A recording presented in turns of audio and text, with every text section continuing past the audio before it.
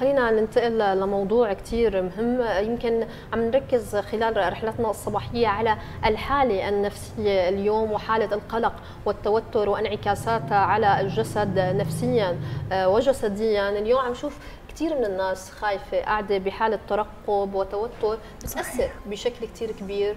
آه، شفنا كثير من الحالات الإنسانية استضفناها يمكن ما عم تقدر تطلع من هي حالة القلق والتوتر.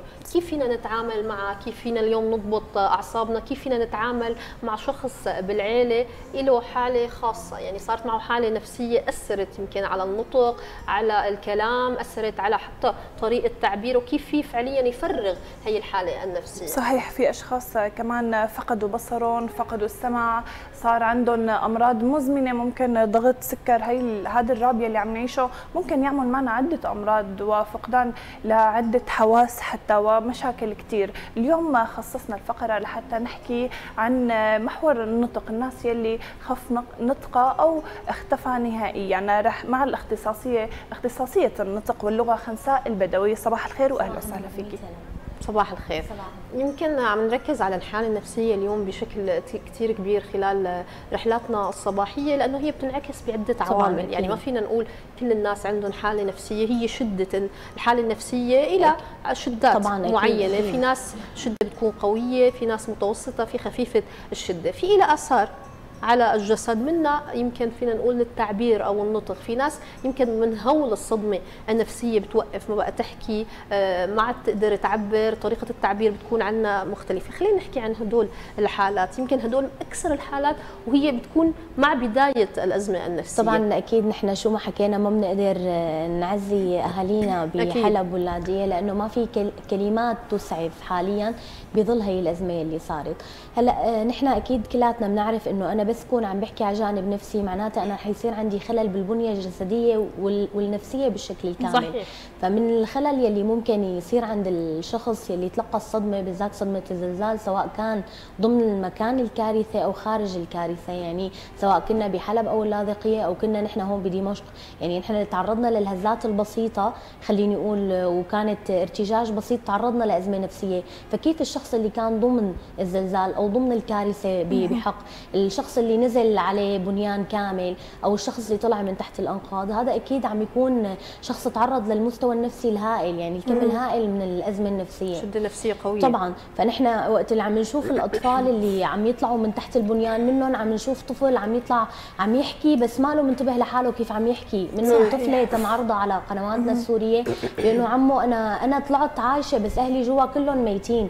كنا عم نشوف عند الطفلة رج رجفان واسع بنبرة الصوت وبالجسد آه، فنحن أول أول محتويات الصدمة اللي ممكن نشوفها على الأطفال أو على الكبار هي اتساع بؤرة العين للشخص. مم. يعني بشوف أنا بؤرة العين صارت متسعة عنده. آه، آه، وقوف وانذهال لشعر الرأس أو بنية الجسد فأنا بيكون عندي رجفه تامة.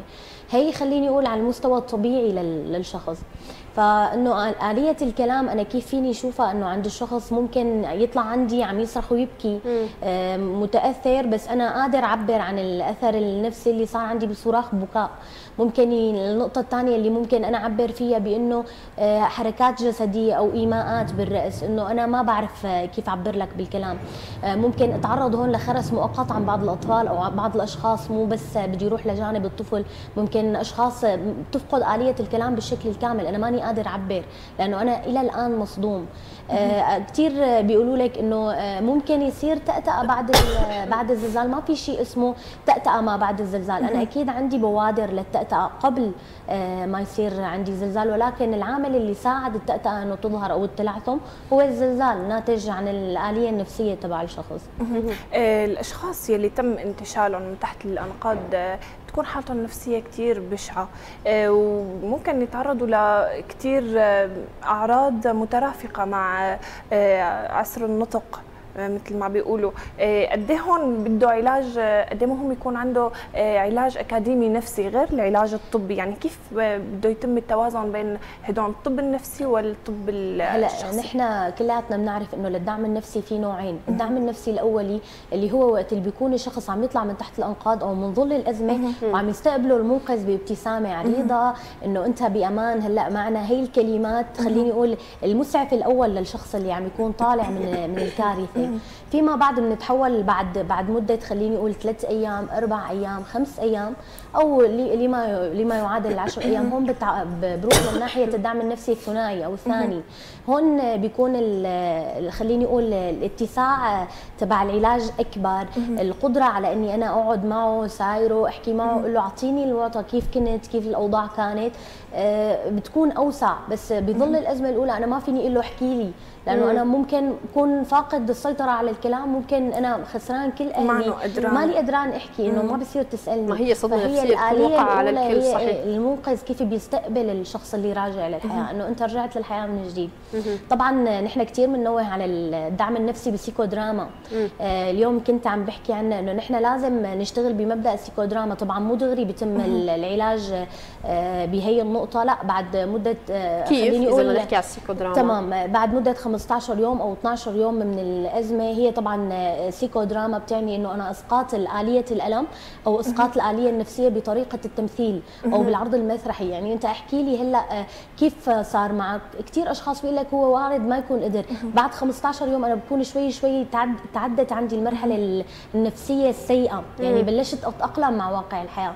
بلشت تعيش بلشت أرجع للحياة من جديد. بلشت أطلع من الصدمة. فأنا من المفروض أسأله إنه كيف صار؟ آه، وين كنت؟ شو كنت عم تعمل؟ ارجع عيد لي الشيء اللي مريت فيه بس بطريقة مسرحية. هون أنا عم خليه يفرغ الآلية الكبت إنه أنا الكبت الموجود عندي عم عم طلعه بس بآلية كلام. أو بعرض بعرض تمثيلي ممكن يخرج عنده هون أنا دموعي تطلع البكاء صيحات البكاء تطلع عندي. هذا الشيء أكيد بيساعد على التريح طيب طبيا غير نفسيا طبيا كيف بيتم معالجه صعوبة النطق؟ هلا حكينا هلا نفسيا بس. هلا نحن طبيا أكيد بيرجع الموضوع تشاركيا نفسي تمام وطبي تمام أكيد. آه هي موضوع تشاركي أول شيء إنه أنا لازم أعمل الفحوصات التامة لموضوع النطق. لازم أتأكد إنه مو عامل نفسي اللي صار عنده. حكيتي ببداية المشوار إنه ممكن يتعرض لأذية أذنية فأنا بدي أتأكد إنه ما صار في عنده أذية بغشاء الطبل آه بالأذن بالدماغ ما صار عنده أذية عصبية. كل شيء. فمن بعدها ببلش أنا معه كاختصاص نطق ولغة هون ببلش معه مشواري أنا. آه، برجع بقول بالدعم النفسي اولا بعدين بالجلسات آه، بجلسات النطق المساعده لاعاده عملية النطق خلينا نحكي ختاما وسريعا نصائح كثير آه، نحكي نركز عليها حول الدعم النفسي لأنه أحيانا بيكون الدعم النفسي هو العامل الأكبر في تخطي شدة الأزمة النفسية. ممكن يقول لك هلا ما كثير تعرض هو يمكن الطفل ما عم يقدر يعبر. قديش مهم نحن نتعامل معه بطريقة صحيحة؟ لأنه أحيانا بيكون في أخطاء بطريقة التعامل أو سلوك التعاطي مع هذا الطفل. طبعا نحن بالحياة اليومية بنشوف أخطاء بطريقة التعاطي مع الطفل بآلية الكلام. منه إعادة وتكرار الكلام الخاطئ أمام الطفل بالأسلوب ذاته يلي بيحكي فيه الطفل. يعني نحن بيعجبنا كلام الطفل فبنعيده بالأسلوب الخاطئ تبعه. مع العلم هذا الشيء خاطئ بالنسبة للطفل. فكيف هلأ نحن بظل الأزمة؟ بتلاقي أشخاص جدا متنمرين بتقعد بترجف وبتعمل آلية الكلام تبع إنه هذا طلع هيك عم يحكي أو هذا هيك طلع عم يحكي. ما بيقدر الحالة النفسية اللي بيكون متعرض لها هذا الشخص صحيح.